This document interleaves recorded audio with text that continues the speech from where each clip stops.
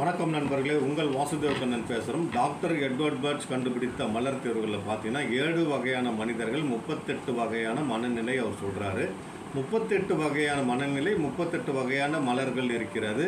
So that அந்த மலர்களில் வந்து நம்ம மேட்ச் பண்ணி பார்த்துக்கலாம் அதே நேரத்தில் வந்து பார்த்திங்கன்னா ஓவர் சென்சிட்டிவ் இன்றைக்கி வந்து பார்த்திங்கன்னா ஓவர் சென்சிட்டிவ் நிராசை விரக்தி. நிராசை விரக்தி பற்றி பேசுகிறார் அவர்.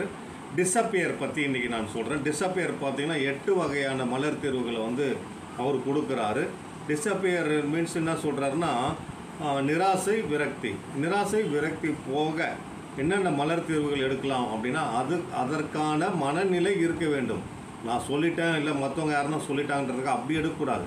அந்த மாதிரியான மனநிலை இருந்தால் நீங்கள் எடுத்துக்கலாம். என்னென்ன? Large pine elm sweet chestnut star of Bethlehem willow oak and crab apple.